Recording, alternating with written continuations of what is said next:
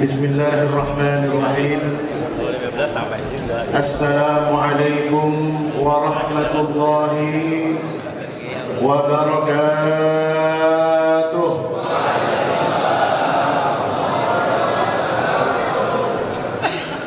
الحمد لله. الحمد لله الذي أرسل رسوله بالهدى ودين الحق. ليظهره على الدين كله وكفى بالله شهيدا.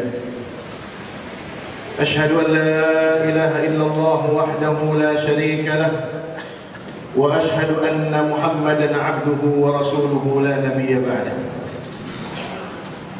اللهم فصل وسلم وبارك وأنعم على سيدنا محمد. وعلى آله وأصحابه ومن سار على نهجه واقتفى أثره إلى يوم الدين. اللهم اجعل جمعنا هذا جمعا مرحوما. وتفرقنا من بعده تفرقا معصوما. ولا تجعل فينا ولا من بيننا شقيا ولا محروما. أما بعد معاشر المسلمين والمسلمات أصحاب الفضيلة ashabul maqamah ashabul karamah para kiai para masyayikh para tuan guru wabil khusus para panutan-panutan kita, teladan-teladan kita, guru-guru kita, orang tua-orang tua kita yang hadir pada malam hari ini, yang menambah kemuliaan, keberkahan majelis ini, di antaranya adalah guru kita yang sangat tawadhu yang kita doakan mudah-mudahan hajatnya dimudahkan Allah, urusannya dimudahkan Allah, Allah angkat penyakitnya, Allah tinggikan derajatnya yaitu ketua MUI DKI Jakarta. Al-Mukarram wal Mufaddal wal Mubajjal Kiai Haji Munahar Muhammad Matta'ala Allah bi tuli hayatihi as-sihhati wal afiyah yang kita hormati guru-guru kita hadir di hadapan kita semua Kiai Haji Sulaiman Rahimin. Matta'ana Allah bi tuli hayatihi as-sihhati wal afiyah. Bapak Kiai Haji Junjung Handa matta'ana Allah bi tuli hayatihi as-sihhati wal afiyah. Tidak ketinggalan guru kita Kiai Haji Hasan Fahmi. Matta'ana Allah bi tuli hayatihi bis-sihhati wal afiyah. Dan seluruh kiai-kiai Tuan Guru yang mohon izin Al-Fakir karena sisa waktu 28 menit lagi. Udah dibuang 2 menit kalau disebutin nama guru-guru kan sisa 20 menit. Nggak enak sama sahibul hajat.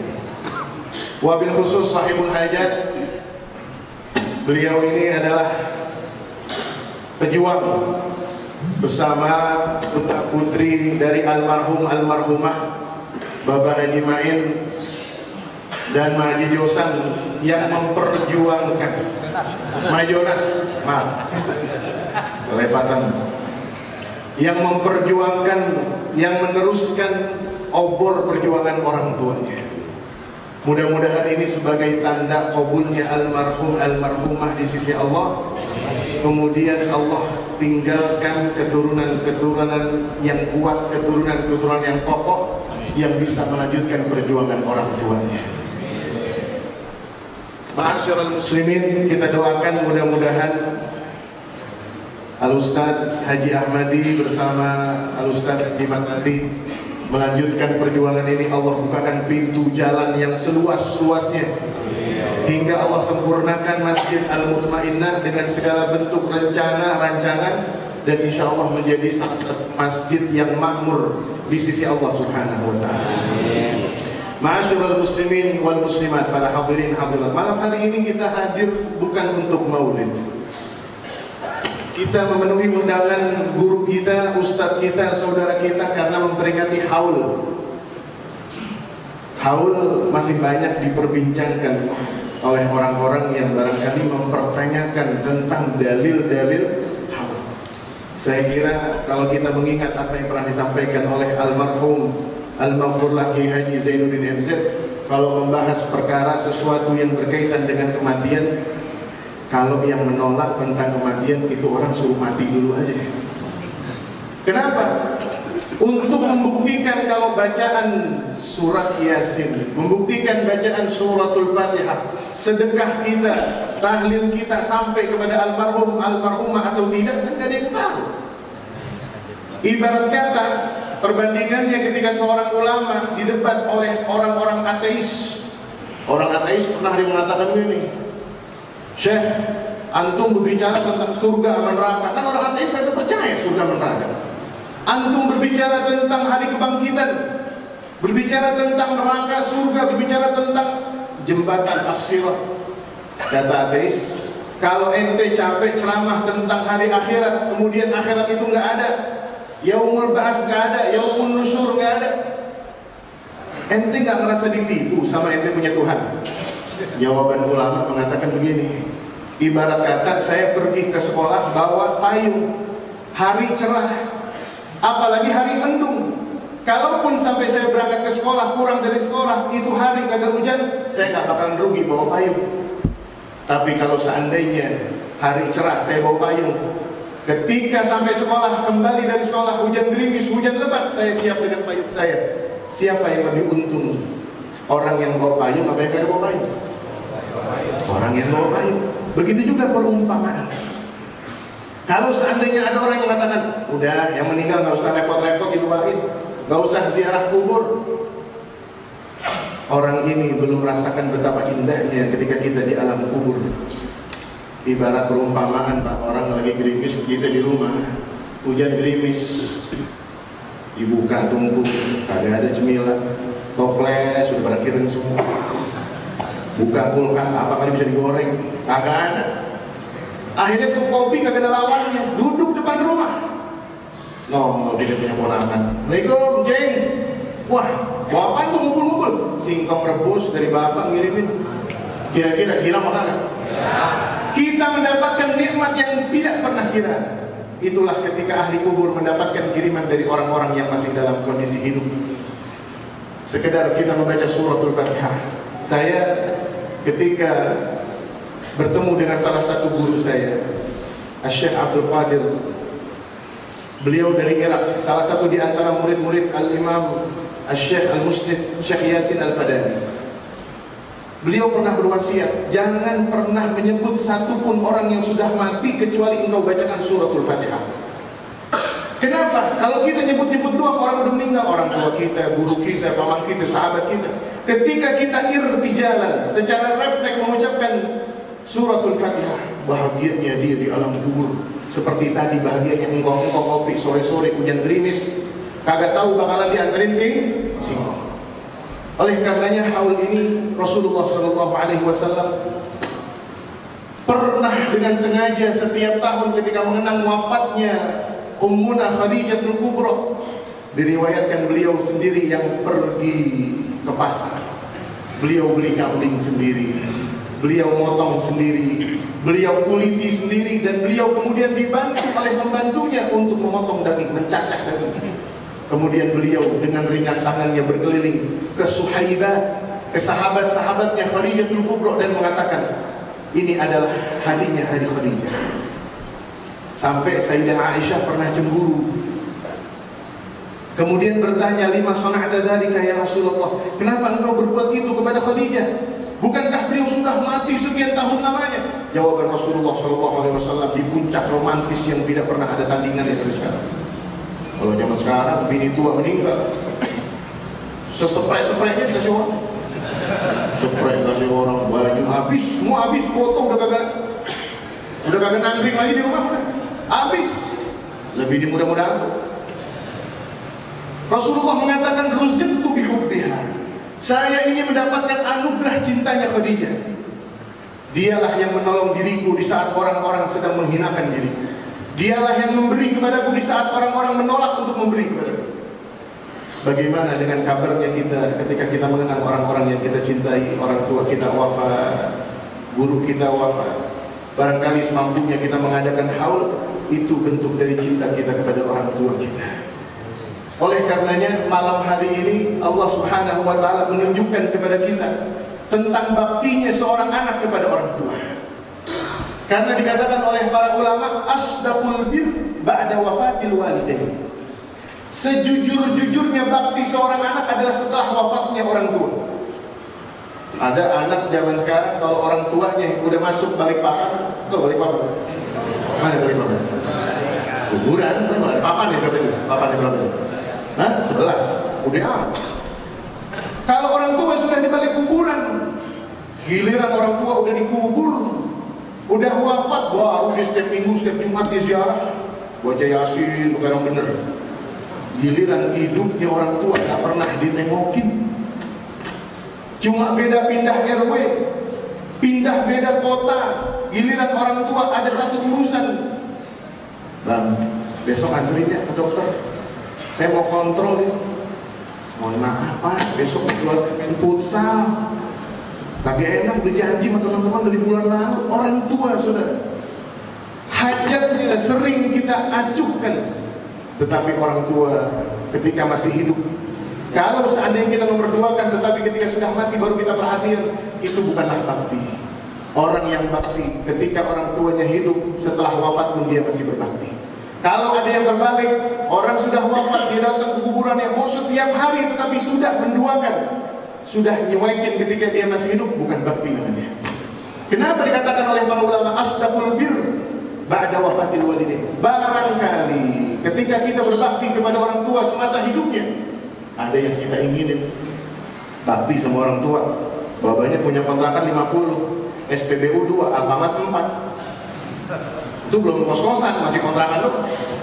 Sawah di mana-mana, di Gandul lain, Andara lain, Bojong lain, bilang dua. Giliran orang tua hidup digosekin kamar mandi, gosokin, gosokin kamar mandi, nyapu, nimba semua. Tujuannya satu, barangkali berbakti sekian tahun. Ya masa kagak surat tanah nemplok satu? Surat tanah? Nemplok satu gitu?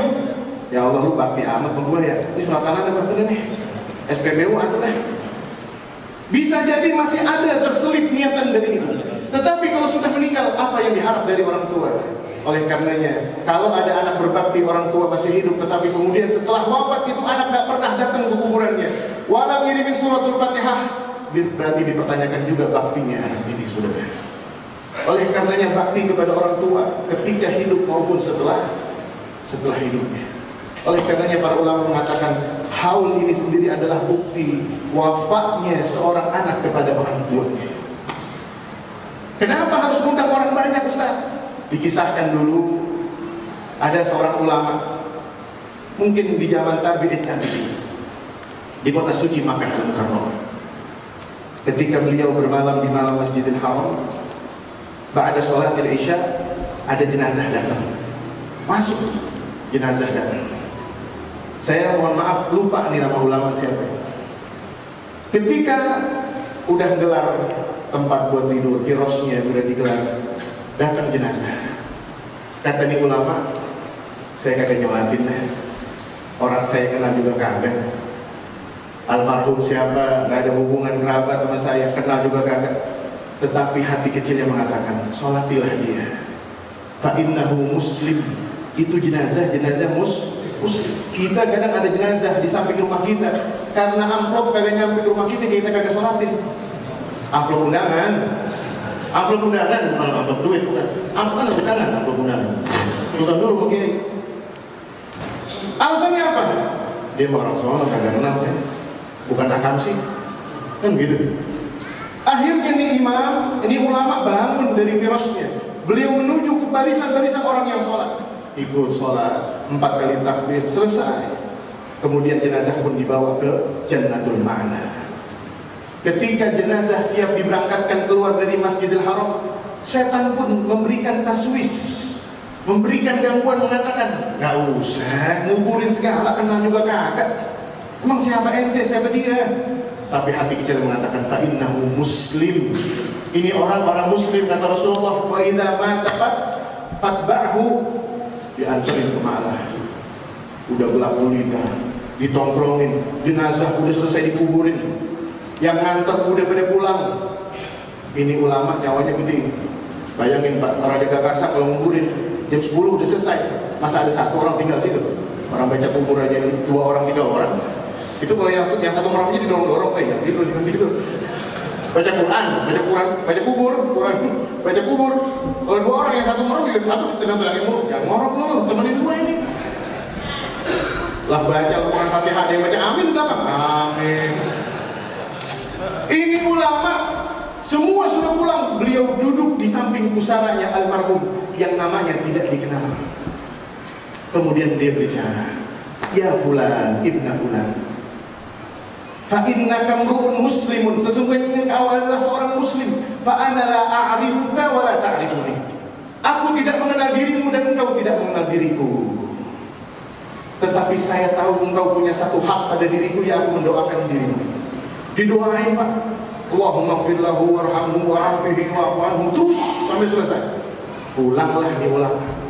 Pulanglah beliau ke Masjid Haram. Lanjutin lagi agenda tidurnya baru tidur datang dalam sebuah mimpinya di malam yang sama seseorang wajahnya tak dikenal suaranya tak dikenal namanya tak dikenal kemudian orang ini berbalas mengatakan ya fulan ibnu fulan wahai fulan ibnu fulan saya orang yang tadi engkau solati saya engkau yang tadi engkau antarkan ke kubur saya adalah orang yang tadi engkau doakan engkau seorang diri Demi Allah, di antara sekian doa, ada doa yang paling cepat sampai kepada Allah Subhanahu wa taala dan itu adalah doamu. Coba itu. Kalau seandainya kita berhusnudzon, kita punya anak lima, kita bilang ini wali semua, yang lain usah nyolatin. Sombongnya luar biasa. Tapi kita ketika datangnya jumhurul musallin, orang-orang yang sholat, harapannya adalah barangkali la'alla ada satu di antara kita yang sudah menjadi waliun min awliyaillah doanya akan terkabul di sisi Allah lebih cepat daripada dosa kita yang menghalangi diri kita pribadi terhadap orang tua kita Sayyidina Abdullah Ibn Umar ketika ditanya oleh seorang sahabat ini sahabat pergi haji digendong-gendong tuh emaknya beliau mengatakan ya Ibn Umar Ja'altuni matwiyataha. Saya sudah menjadikan diriku sebagai kendaraannya. Wa ja'altu jasadi markabaha. Saya jadikan badanku sebagai tumpangannya. Wa ja'altu kasbi malaha. Dan aku jadikan semua penghasilanku untuk ibuku. Ini orang ternyata dalam riwayat sebut udah sembilan kali haji, Pak. Dan itu haji orang tuanya digendong ala dhahrihi Kemudian saat ini anak muda bertanya, Abu Abu Ruhan, apakah saya sudah tercatat sebagai orang yang sudah berbakti kepada ibu? Sayyidina Abdullah bin Umar geleng-geleng dan mengatakan, lah, kanlah. Kanlah, belum. Walau bisa pelatihan. Meskipun dibanding dengan satu tangisannya, satu teriakannya ketika ia mengeluarkanmu dari kandungannya yang penuh dengan pedih dan rasa sakit itu. Oleh karenanya haul ini adalah upaya terkecil Anak zaman sekarang jangan pernah bangga ketika menghajikan orang tuanya. Saya ketemu jamaah di Mekah, ada orang tua Pak mohon izin, udah sepuh umurnya 80 tahun, nggak bisa ke toilet sendiri pakai pempes, dihajikan sama anaknya. Anaknya dengan penuh bangga mengatakan Alhamdulillah neng, orang tua haji pakai duit saya Ustaz. Padahal tuh orang tua begitu tersiksanya pergi haji tanpa ada satu orang pun yang memikirkan bagaimana makannya, bagaimana ceboknya, bagaimana tidurnya, bagaimana pakaiannya. Kemudian Allah berikan orang ini menggratiskan semua amal solehnya. Ketemu di Mekah ada orang yang baik hati mengurus orang tuanya. Pahalanya buat siapa? Pahalanya buat yang ngurusin. Oleh karenanya, haul ini adalah upaya kita untuk membahagiakan kita para almarhum almarhumah di alam kuburnya. Ma'asyiral muslimin yang dimuliakan Allah Subhanahu wa taala. Rasulullah sallallahu alaihi wasallam pernah mengatakan bahwasanya sebaik-baiknya seorang muslim adalah ketika dia memiliki deposit yang dia pikirkan adalah bagaimana setelah wafatnya. Kaifa akunu ba'da wafati? Bagaimana kondisiku setelah wafatnya diriku? Makanya beliau mengatakan di dalam hadis al-kayyisu mandana nafsahu wa amila lima ba'dal maut. Orang yang cerdas adalah orang yang mengerjakan apa yang biasa diambil setelah wafatnya. Kalau orang tua zaman sekarang paham hadis ini, saya yakin gak ada yang nyekolahin anaknya biola, gak ada yang nyekolahin anaknya main piano, gak ada yang nyekolahin anaknya balet. Kenapa? Kira-kira kalau kita udah sakratul maut, napas udah senang kemis,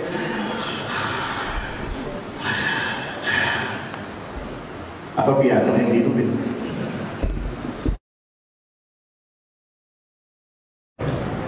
وعلى آله وأصحابه أهل الصدق والوفاء أما بعد Segenap para ulama yang saya muliakan, para guru, para masyayikh yang cukup banyak hadir pada malam hari ini Mohon maaf tidak saya sebutkan satu persatu namun insya Allah tidak mengurangi rasa hormat dan takzim saya kita doakan mudah-mudahan segenap para guru-guru kita selalu diberikan sehat oleh Allah Subhanahu dan ilmunya manfaat buat kita semua. Keluarga besar Allah yarham al-maghfurlah Baba Haji Mahin bin Risin dan Nyak Hajah Jonas binti Haji Bunting yang semuanya saya muliakan kita doakan mudah-mudahan almarhum dan almarhumah diampunkan oleh Allah segala dosanya. Dan kuburnya Allah jadikan riyad min riyadil Bapak, Ibu dan saudara-saudara sekalian Tadi guru kita sudah menyampaikan panjang lebar hakikat daripada bakti seorang anak dan hakikat daripada kematian karena yang ditunggu oleh orang yang sudah meninggal memang doa dan satu di antara bakti seorang anak bagaimana dia memberikan kesenangan dan kegembiraan kepada orang tuanya baik saat masih hidup ataupun dia sudah meninggal. Jadi salah satu bakti seorang anak bagaimana memberikan kegembiraan sebab apa? Mal mayyitu fi qabrihi illa kal gharikil mutaqawwis yantaziru dakwatan min abin au ummin au waladin au sadiqin siqqah karena orang yang kalau sudah meninggal dunia itu ibarat orang lagi tenggelam. Orang kalau udah tenggelam, mau tenggelam, itu pengen selamat apa juga dia pegang. Ada kayu, kayu dipegang, ada rumput, rumput dipegang. Padahal dia tahu itu nggak bakal nyelamatin dia, tapi dipegang sama dia. Itulah orang yang ada di dalam kubur mereka yang tazilu dakwatan min abin au ummin au waladin au sadiqin sikko kalau anak yang meninggal maka berharap bapak dan ibunya mendoakan kalau orang tuanya meninggal berharap doa dari anak-anaknya dan dari sahabat-sahabat setia. Nah malam ini nih almarhum senang. Ya Allah gembira. Tadi sudah diceritakan oleh guru kita. Bagaimana seseorang yang mendapatkan hadiah pada saat dia membutuhkan. Makanya hadiah yang paling baik untuk orang yang sudah meninggal al istighfaru lahum wasadaqatu alaihim. Istighfar buat orang yang telah meninggal dan bersodakoh buat orang yang telah meninggal. Makanya ulama-ulama Nahdiyin lalu menafsirkan ini, menjabarkan ini, kalau gitu istighfar buat tahlil, sodako habis tahlil, kue, kue berkah, kan begitu. Kita tadi istighfar, sudah tahlil, membaca kalimat thayyibah, berpahala buat siapa yang meninggal. Selesai, wasodaqatu alaihim sedekah. Ini airnya kita minum. Itu pahalanya langsung buat almarhum almarhumah makanan yang kita makan ini langsung ke almarhum almarhumah makanya jangan sampai kita nggak minum ini makan aja sampai kita nggak makan. Kalau nggak habis bungkus bawa pulang. Ya kalau perlu tempat-tempatnya bawa sekalian biar pahalanya itu gede maksudnya. Ada piring-piring bawa. Belum nanti berkat lagi subhanallah. Dan memang itu bakti.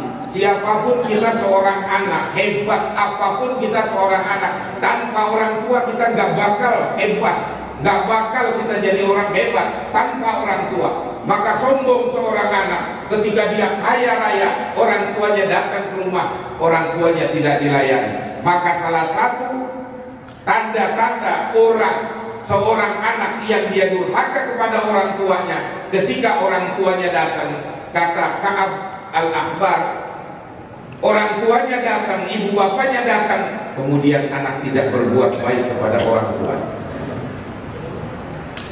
kita gak jadi apa-apa tanpa orang tua. Kita hebat dulunya apa kita? Kita sekarang punya apa? Karena orang tua kita. Makanya kalau yang ada rezekinya bikin haul makin makanannya makin enak pahalanya makin gede Gak kita dapat banda, kadang-kadang kan banda dari orang tua kita dapat warisan ya. Orang tua kita udah gak ada, begitu bilang haul, dan makanan yang enak-enak, biar pahalanya udah gede. Jangan dikasih peninggalan banyak, warisan banyak. Begitu tahlilan, lah ikan pedak yang ditaruh. Jangan, minimal daging yang gede.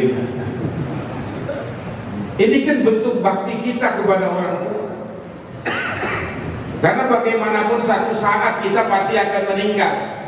Kalau kita banyak berbuat bakti kepada orang tua kita, nanti anak itu akan lihat. Kita baik sama orang tua, boleh jadi nanti anak akan melihat apa yang kita lakukan buat orang tua kita, anak akan melakukan. Jadi tergantung bagaimana kita sekarang ini. Kita nggak pernah tahu kapan kita diambil. Yang namanya hidup ini kan nggak bakalan lama apa sih yang kita punya sekarang bakalan kita lama kita pegang? Gak ada. Kita kontrakan banyak. Kita nikmati berapa lama itu kontrakan? Punya ruko banyak. Berapa lama kita nikmati? 50 tahun 60 tahun 70 tahun? Paling mentok-mentoknya mungkin 100 tahun. Setelah itu selesai bukan milik kita lagi. Rumah kita mewah kita bangun rumah mewah apa selamanya? Enggak. Yang selamanya cuma satu kali dua meter itu kuburan kita. Kita bikin rumah, kita punya kendaraan mewah. Berapa lama kita nikmati? 50 tahun, 60 tahun selesai enggak? Bukan punya milik kita, punya anak anak-anak kita. Kalau anak-anak kita benar, begitu warisan dibagi rata, sisanya buat orang tua. Nah kalau anaknya enggak benar, Kadang-kadang orang tua masih terbujur kaku, dia udah pada ribut warisan. Makanya Nabi Yakub kita lihat bagaimana ketika Nabi Yakub meninggal dunia. Nabi Yakub cuma pesan nama anaknya mata'buduna min ba'di. Nah, kalau aku meninggalkan alam yang panah ini, kalau aku meninggal dunia, mata'buduna min ba'di. Apa yang akan kau sembah? Jadi dikumpulin anaknya, Tak pertanyaannya cuma satu. Apa yang kalian akan sembah kalau bapak udah nggak ada? Yang lu mau pada sembah apa? Karena anaknya soleh, soleha, semuanya jawabannya kompak. Nahbudu ilahaka wa ilaha abaika Ibrahim wa Ismail wa Ishaq ilaha wahida wa nahnu lahu muslimun. Ayah gak usah khawatir. Kalau ayah meninggalkan kami akan kami sembah Tuhan ayah. Tuhan Nabi Ibrahim, Tuhan Nabi Ismail, Tuhan Nabi Isa, ilaha wahidah, Tuhan yang satu. Wa nahnu lahu muslimun. Dan kami akan berpasrah berpasrah berpasrah diri kepada Allah. Jadi itu yang diwariskan. Jangan ngumpulin anak meninggal atau lu yang tuaan mau apa lu yang sebelah sono buat lu ya. Lu yang gede yang pertengahan di sono, lu yang bontot di rumah buat lu kalau yang namanya udah warisan itu ujung-ujungnya pasti pada ribut. Kalau bapaknya enggak mempersiapkan akhlak. Makanya yang paling baik penanaman kepada anak itu akhlak. Ya Allah enak bener. Kenapa Nabi mengajarkan kepada kita kawinin untuk perempuan-perempuan yang doyan beranak? Kalau bahasa kita. Biar keturunan banyak Nabi bangga dengan keturunannya dengan umatnya di hari kiamat dan kita kalau punya anak banyak, minimal kalau kita udah nggak ada, setiap malam Jumat baca Yasin. Apalagi kita punya keluarga, anak sama cucu ada 30 setiap malam Jumat makan Quran. Kan enak bener itu. Anak kita ada berapa? 10, cucu 20, 30 tiap malam Jumat sampai Isa udah titipin pokoknya gua nggak mau tahu maghrib Isa tuh lu semua anak cucu khatam Quran sejus sejus sejus. Biar rumahnya pada misa yang penting sejus sejus sejus. Masya Allah nikmat. Ini kenikmatan. Karena kalau ingat kita kematian ini sebentar. Makanya Nabi pesan nama kita aksiru zikrul maut. Fama min abdin aksaru zikru illa ahyallahu qalba wa kawana alaihi Kata Nabi perbanyak olehmu mengingat kematian Karena orang kalau sudah ingat kematian Ahyallahu qalba Hatinya ini dihidupin. Apa ada orang hidup hatinya mati? Banyak. Siapa? Orang yang hatinya mati ketika disampaikan kebenaran dia tolak kebenaran. Dikasih nasihat yang baik dia tolak semua nasihat. Kalau ustaz ngomong kiai ngomong kalau jadi pemimpin jangan suka pada bohong ya. Kalau pemimpin yang jujur jangan bohong disampaikan benar-benar apa dibilang yang berdasar karbon dianggap karbon kita. Karbon apa kardus? Makanya alhamdulillah tadi sampai ini hari ini udara cerah banget. Ini biasanya kan hujan nih. Emang enak kita cerah adem. Kalau ingat Anies Baswedan tuh cerah pikiran jadi kayaknya ke depan itu bahagia banget kita dah. Tapi kalau ingat yang lain butak pikiran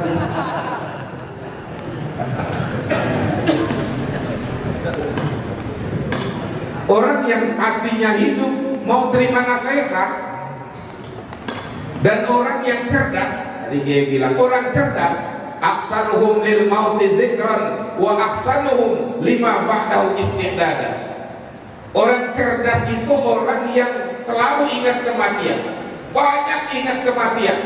Orang kalau udah ingat mati kan gak bakalan sombong itu Fir'aun sombong lantaran gak ingat mati Fir'aun hidup gak pernah sakit, sehat sepanjang hidup. Makanya dia mengaku sampai pada puncak kesombongannya, anak rabbukumul a'la. Aku ini Tuhan kalian, hai bangsa Mesir. Sebab apa? Dia hidup merasa tidak pernah sakit. Dia merasa badannya kuat. Dia menguasai Mesir. Dia seolah-olah apa kata dia Mesir? Aku jadi Tuhan. Kenapa? Gak pernah sakit. Makanya ente yang hidup ini gak pernah sakit sehat mulu mikir. Waduh jangan-jangan keturunan Firaun. Kau lagi dikasih sakit ya Allah. Inna Allah Ta'ala idha ahabba abadah ibtal.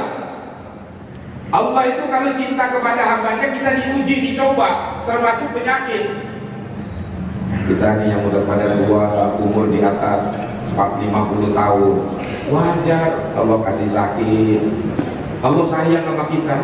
Karena Allah kalau sayang kepada hambanya Allah tidak akan mengambil ruh hambanya menghadap Allah. Sebelum hambanya bersih daripada dosa. Makanya kalau orang soleh dia masih punya dosa kadang-kadang diambil dari kekayaannya sakit sampai kekayaannya habis baru meninggal. Sesudah bersih menghadap Allah ada yang dikasih sakit lama biar sampai bersih dia menghadap Allah dalam keadaan bersih. Begitu. Kita nggak pernah tahu wa ma tadri nafsum madza taksibu ghadan wa ma tadri nafsum bi ayyi ardin kamu nggak bakal kita tahu apa yang terjadi di hari esok. Nggak pernah tahu kita. Dan kita nggak pernah tahu di mana kita bakal dikubur apa kita orang Jakarta bakalan meninggalkan Jakarta? Belum tentu. Ada orang Kalimantan kuburannya di Jakarta, ada orang Jakarta kuburannya di Sulawesi.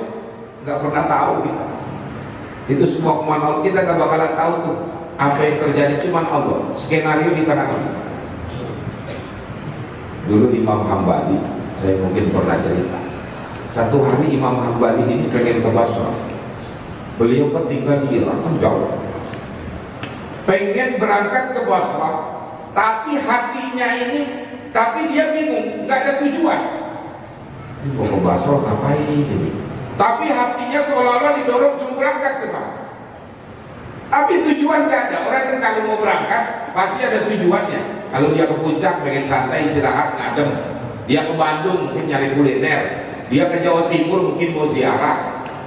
Ini nggak ada sama sekali apa niatnya. Tapi hatinya ini terdorong biar berangkat ke Basra.